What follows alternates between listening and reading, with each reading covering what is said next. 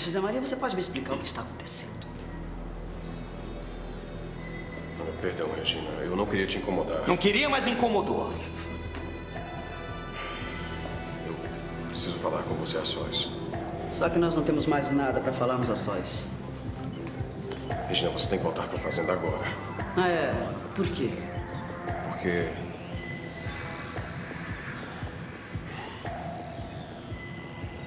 Porque a Martinha morreu, Regina.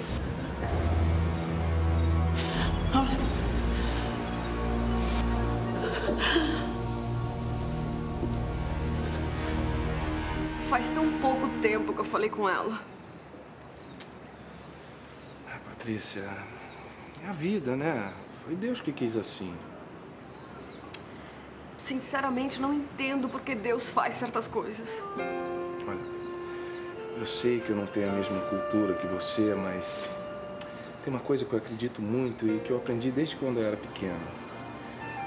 Deus não é mau, ele não deve ser entendido. Deus deve ser amado e ter suas vontades respeitadas.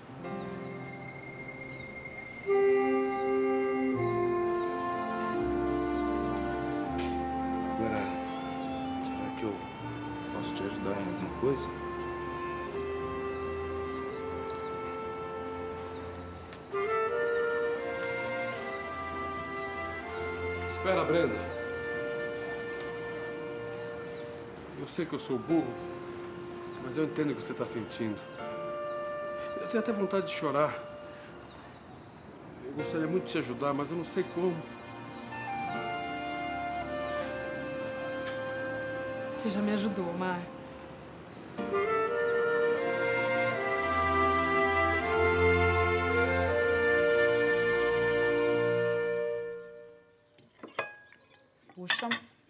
Já fazia tempo que eu não comia tanto assim. Você sempre foi um bom garfo, Silvia. Que bom que você está mais animada, não é? É verdade. Eu estou melhorando cada dia mais. Logo, logo você vai estar novinha em folha, você vai ver. Se bem que isso depende mais de você, não é, Manuel? Quando é que você vai voltar para casa? Desde o acidente, você tem passado as noites aqui. Mas quando é que você vai voltar para sempre? Você não gosta mais de mim, Manuel? Não diga isso. Então o que está acontecendo? Silvia, durante esse, esse tempo todo, eu pensei, eu pensei muito na nossa situação. Mas, sinceramente, eu, não- eu não sei o que te dizer. São tantos medos, tantas dúvidas, que com certeza eu só posso falar uma coisa. Eu não vou voltar para casa enquanto todos os nossos problemas não forem resolvidos completamente.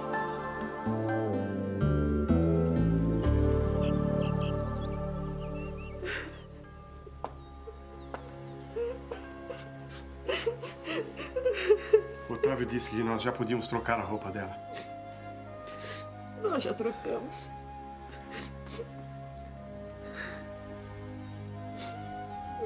Não, Regina. Não, filha. É melhor você não ver a Martinha nesse estado. Com a queda, o rosto dela ficou muito machucado. É melhor você não ficar com essa lembrança da Martinha.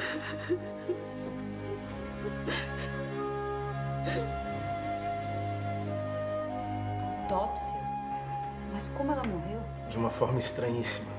Eu só assinei o atestado de óbito porque eu conhecia a doença dela. E principalmente para evitar que a família fosse envolvida num outro escândalo. Escândalo? Que escândalo? A dona Martinha literalmente destruiu a cabeça quando ela caiu da escada. E ninguém viu nada. Já pensou que esse povo não poderia inventar? O que, por exemplo? É, eu não sei. Só sei que o delegado precisa iniciar as investigações o mais rápido possível. Fabiola, o que que uma mulher doente estaria fazendo fora de casa?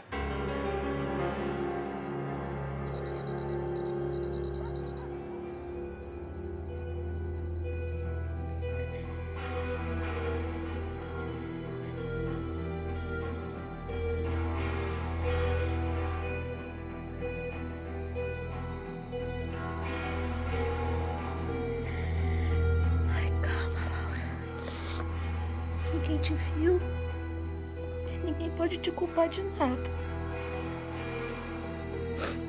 Calma. Ai, calma, calma. Ninguém pode te culpar de nada. De nada.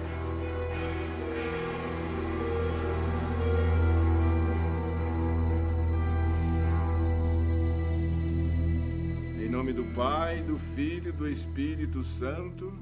Amém. Amém.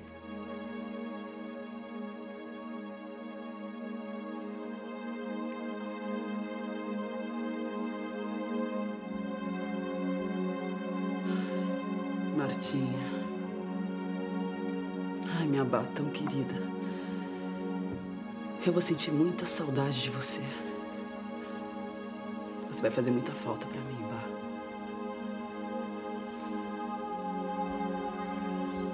Estou com medo. Medo do quê? Regina, não chora. Parece que ela está conformada, mas ela não pode ter se conformado tão rápido. Eu duvido que ela esteja conformada. Regina é forte. Mas você tem razão. Sinceramente, eu também estou começando a ficar preocupado. A Regina devia mesmo estar chorando.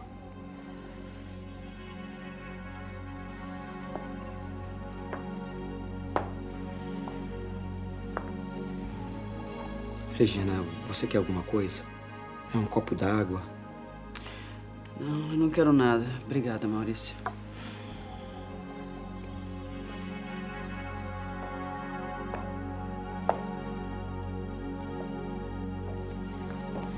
O que será que aconteceu com o Zé Maria?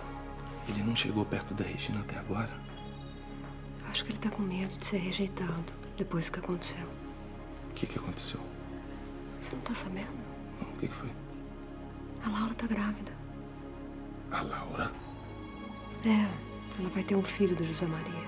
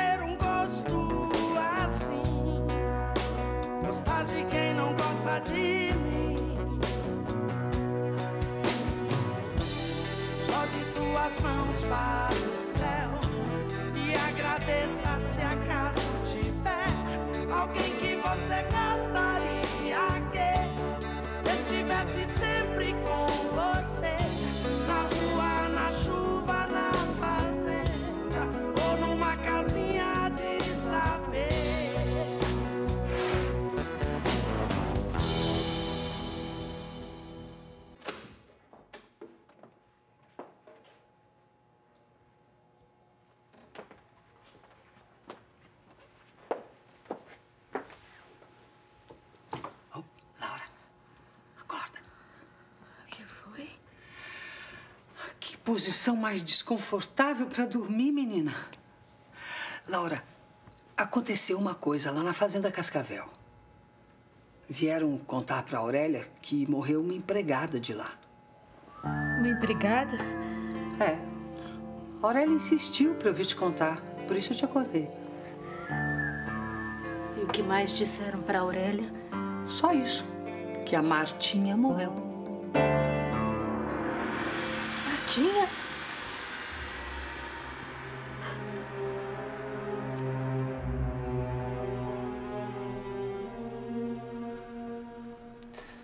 No meio de tanta tristeza, esqueci de perguntar se avisaram a Laura. A Laura? Claro, acho que ninguém avisou. A Martinha também foi babá da Laura. Eu acho que ela ia gostar de estar aqui. Meu Deus, como nós podemos avisá-la? Não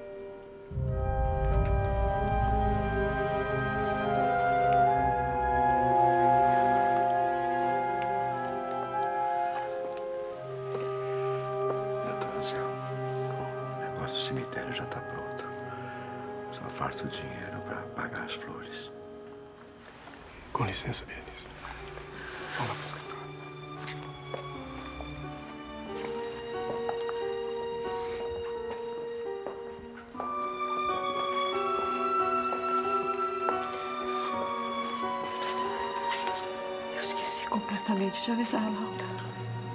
Se a senhora quiser, eu peço pro Ismael. Ele me leva até a Fazenda Carvalhais e eu aviso ela. Mas- Mas eu tenho muito medo da reação da Regina.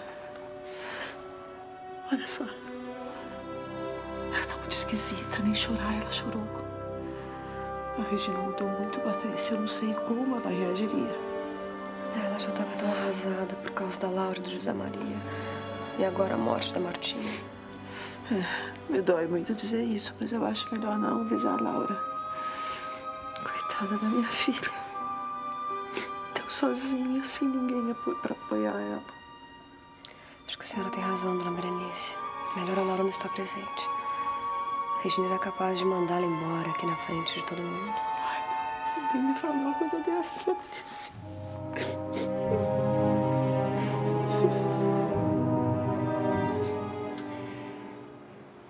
Ainda não ouvi direito o que vocês disseram.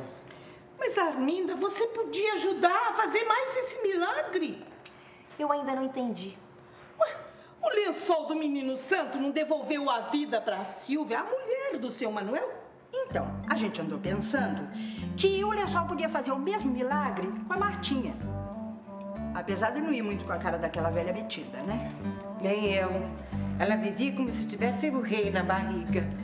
Mas a gente tem que ser caridosa. É. Eu acho que a gente devia levar o lençol lá pra Fazenda Cascavel. É, o lençol do menino santo podia fazer acontecer assim outra ressurreição. Igual a de Lázaro. Ah, claro. E aí, cadê o lençol? Passa pra cá o lençol. Eu vou contar até 10. Se vocês não saírem da minha frente, eu tiro vocês daqui a vassoura! Um. Mas por que, Arminda? Eu não sei por que você ficou tão nervosa. Dois. Três. Você devia ser mais caridosa. A, a gente só tá tentando ajudar, né? Quatro. Você também devia ajudar. Deus! Por que que o senhor não me deu uma metralhadora no lugar dessa vassoura? Eu não entendo a reação da Regina. Essa senhora como se fosse a mãe dela. Se eu estivesse no lugar dela, estaria aos prantos. A Regina é assim mesmo, ela é imprevisível. Mas eu garanto pra você que ela tá sofrendo muito. E, infelizmente, o safado do Maurício vai se aproveitar disso.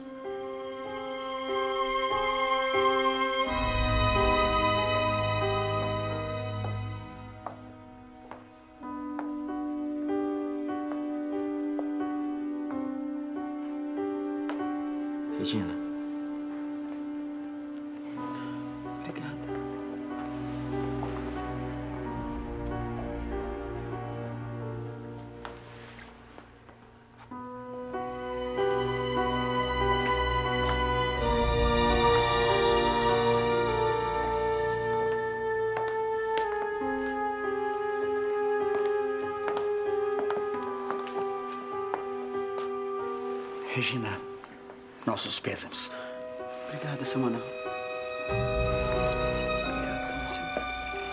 Papai, mamãe, pensei que vocês não viessem. Eu fiz questão de vir dar meus pêsames para a família. É, minha filha, eu não tenho amizade com essa gente, mas eu fiz questão de vir com seu pai, principalmente porque eu sabia que você e o Otávio estariam aqui. Otávio, obrigada por salvar a minha vida.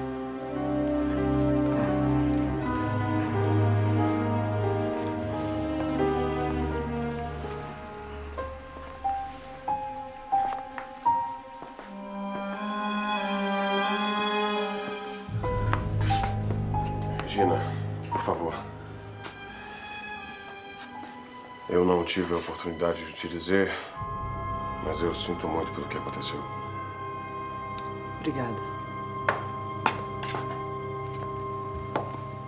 Regina, perdão, mas o Dr. Anselmo precisa que você assine os papéis.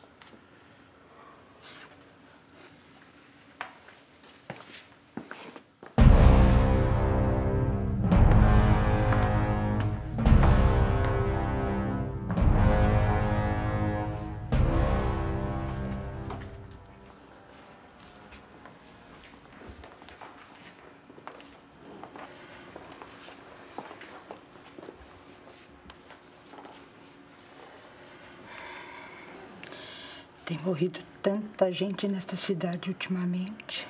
Tem razão. Eu vou mandar benzer a minha casa.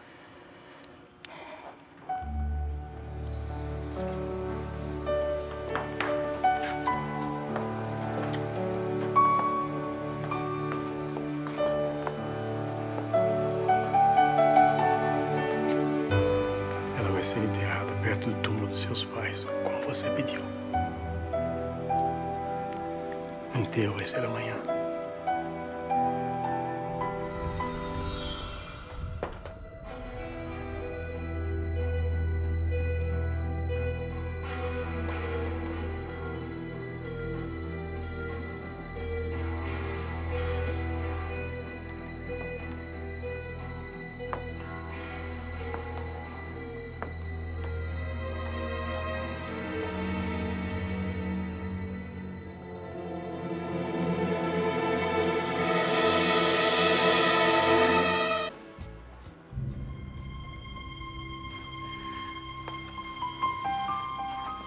Eu só espero que não aconteça o pior.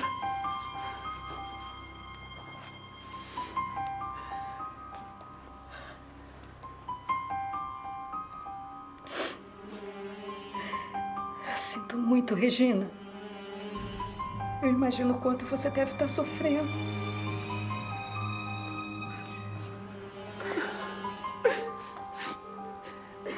Deus te abençoe, Martinha.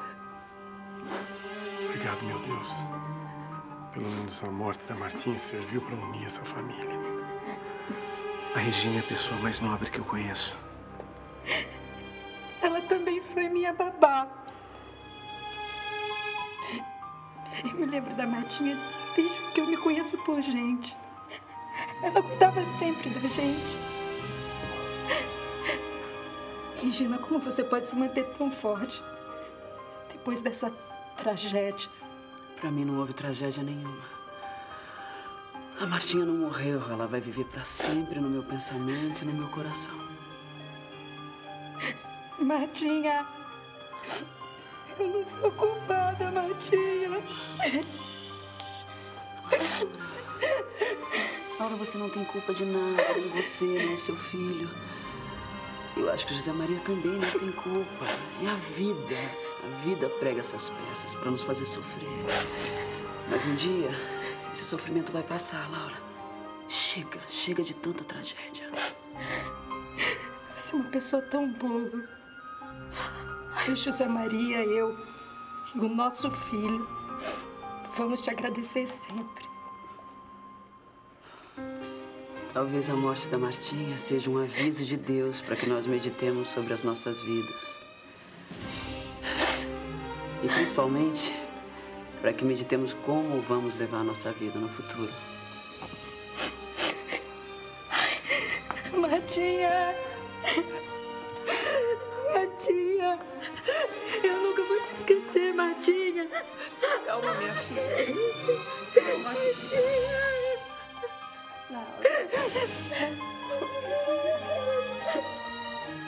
Deus que me perdoe, mas eu não acredito nem um pouco nessas lágrimas. A Laura nunca gostou da Martinha. Sempre tratou a coitada tão mal. Por que será que ela tá fazendo esse teatrinho todo? Tá na cara que ela tá fazendo isso tudo só pra Regina e a dona Berenice aceitarem a gravidez dela. É, pode ser mesmo.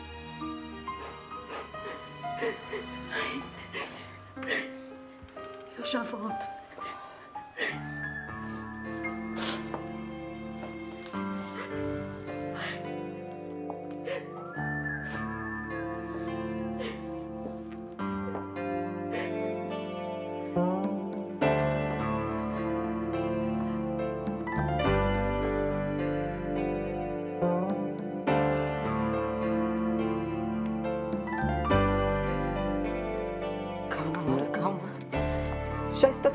Certo, calma.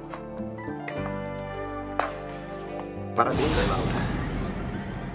A sua atuação foi, ó, brilhante. Você merecia um prêmio. A Martinha sempre foi minha babá também. Finalmente você conseguiu dominar sua família de novo, não? Seu idiota.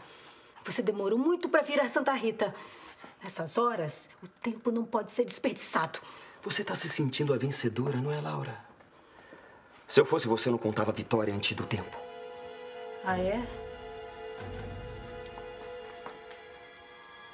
Otávio, você não perde essa mania, né, de ficar espionando aí pelos corredores. Vocês não perdem essa mania de ficar fazendo complô, não é? Otávio. Algum problema? Querida Fabiola, o Otávio só está aqui cumprimentando velhos amigos. Não seja possessiva.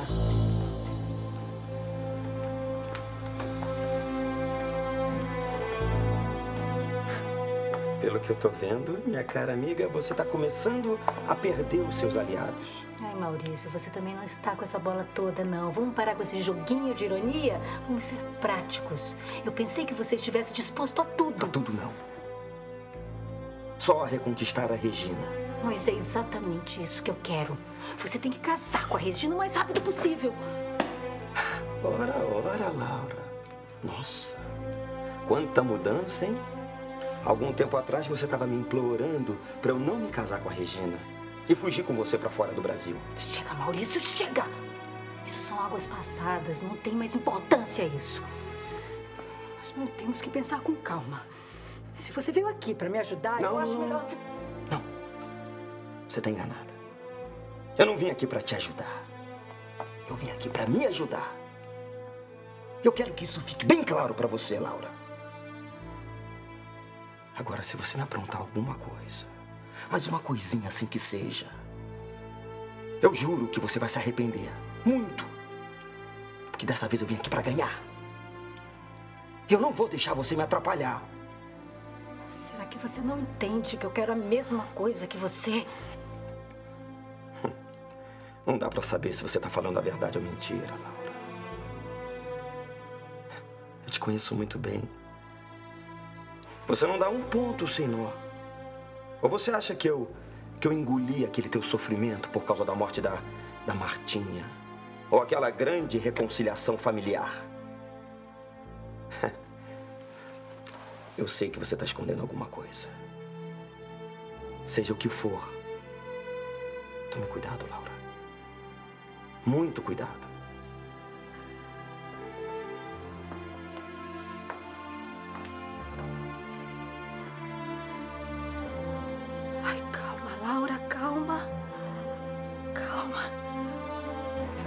Certo. Calma.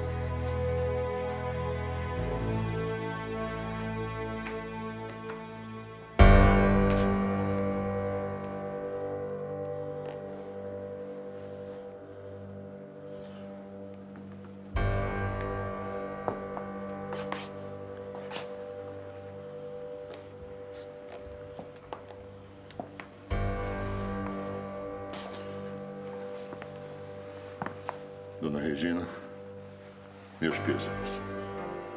Obrigada, Macari. Eu já disse várias vezes e não custa nada repetir. A senhora pode contar comigo sempre que precisar.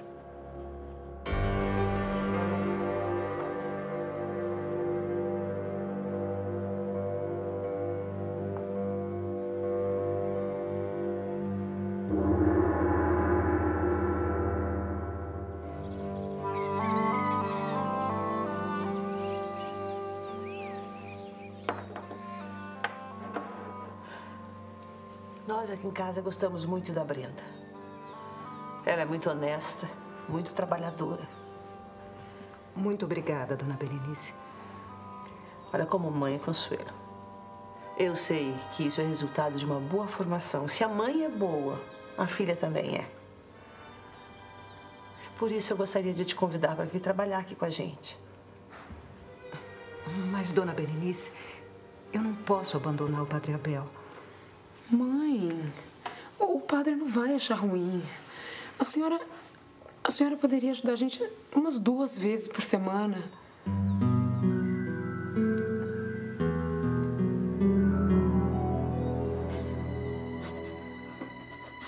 Eu vou te esquecer, Martinha.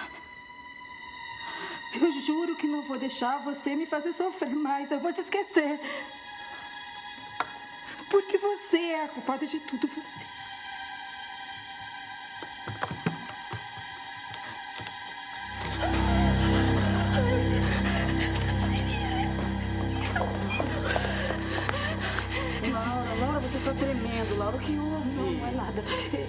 Só tive uma tontura, acho que é coisa de grávida. Laura, no estado que você está, você não pode passar por emoções fortes. Vem comer alguma coisa? Vem. Vamos, vamos. Você passou muitas horas de pé. Isso não é bom para o bebê, Laura. Regina, eu não sei o que seria de mim se não fosse você. Vem, vem devagar, vem. Calma. Isso, respira.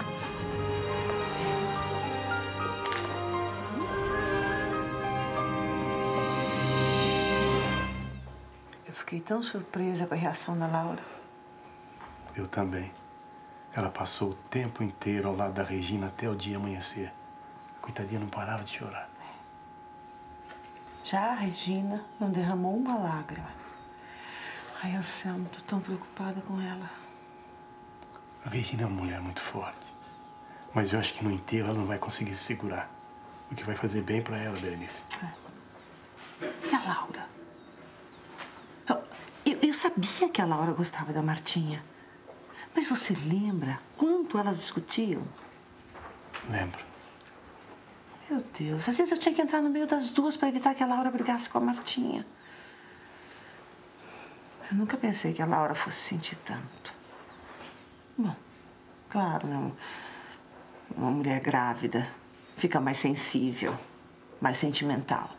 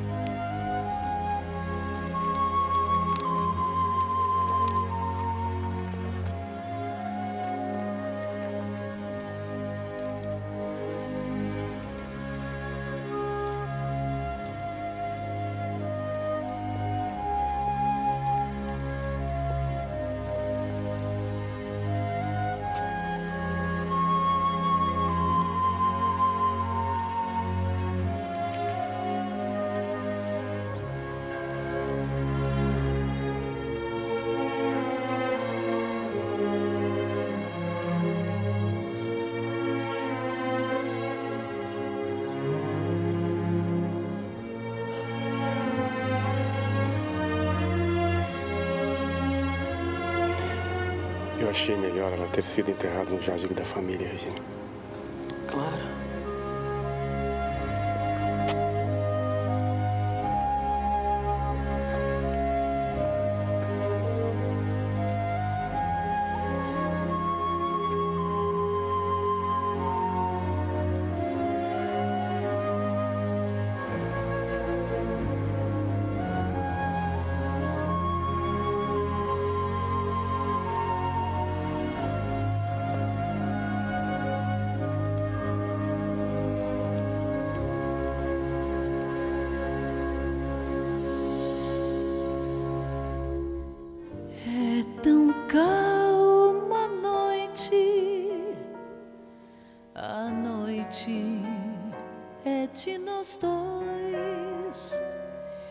Ninguém amou